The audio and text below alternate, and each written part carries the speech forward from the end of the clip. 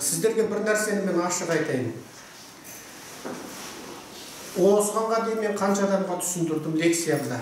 Сайрамгүл қазақстан республикасының азаматтығын берудің ешқандай маңызы жоқ. Сіздер айман омарованы түсінбей отырсыздар. Айман халықаралық деңгейде заңгер соның бір сөзін айтқанда сіздер соның сол бір сөзін мың сөз қылып анализ қылып түсініңіздер айман тістей қатып саяси баспана сұрап жатыр. Неге?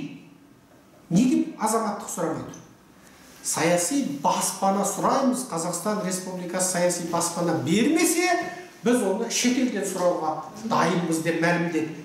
Енді қараңыз көп қазақ бүйтеді бұрын былтырда да осы әңгімені айтқан естеріңізде болса азаматтықты бере салу оңай сізде бізде бәрімізде бар азаматтық.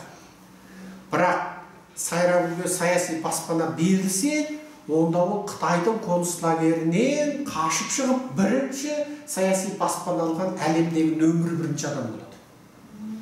Және ол саяси баспана оған қазақстан республикасы жағынан берілген баспана болады. Паспорттың мәні жоқ. Мен бұл жерде қазақстан паспортының мәнін төмендетейін деп тұрған жоқпын. Мәні сайрагүлдің өмірі де оның мағынасы да оның құны да оның қымбаттығы да біз үшін. Қысқа сайрагүлдің ол оның саяси қысымға ұшырағандығы бала шағасымен екі үш жыл кезіге алмағандығы паспортын тартып алғандығы сол үшін өмірін жаңа қауіпке тігіп отырып қашып келген сондықтан сайрагүлге сіздер талап қылғанда азаматтық берілсін деген сөзді айтпаңыздар. Саяси баспана берілсін деңіздер аймандық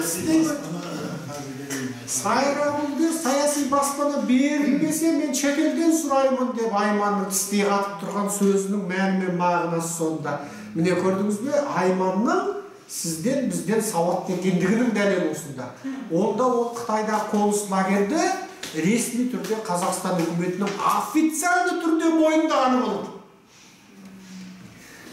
көрдіңіз бе егер бере алмаса онда бере алмағаны болады бере алмаса бере алмағаны болады саяси жағдайды көре отыра иә ондай жағдайда сайрагүл шетелден баспана сұрауға құқылы шетел оның ала алмағандығының заңды негіздері бар екендігіне сүйене отырып оған баспана береді егер сайрагүл еуропаның кез келген еліне америкада саяси баспана берілсе онда қытайдағы қазақ мәселесі тағы бір мәрте бір биік деңгейге айтылады онда егер ой сен өзің қазақ екенсің қазақстаннан баспалар ала алмадың ба деген әңгіме болады да халықаралық қауымдастықты үрейлеу неге олардың төбешаштықты онда мынау қандай мемлекет иә өзінің қазағына баспана бере алмаған. Иә және ол халықаралық келісімдерде көрсетілген иә ондай жағдайда онда қазақ ше- анау қытайда зәбір көрген қазақтарға басқа елдерге барып азаматтық алуға жол ашылады.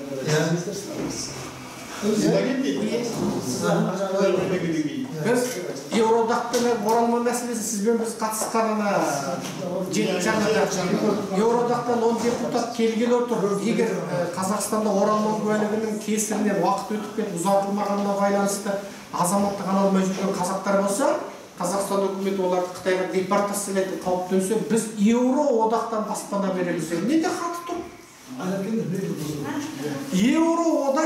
қазақстаннан жаңа оралман куәлігінің ұзарта алмаған кесірінен азаматтық ала алмай қытай паспорты уақыт өткен жұмыс істейін десе шетел азамат не оралман куәлігін бермейді. Ертең оларға тек қытайға қайтуға мәжбүр. Және олар депортациялайды сонда еуроодақтың жаңағы деп, депутаттары маған хат жазып отыр. Біз осы мәселені көтердік. Егер сендердің билік ресми түрде бұл азаматтарды депортациялайтын болса онда біз оларға саяси баспана беруге дайынбыз.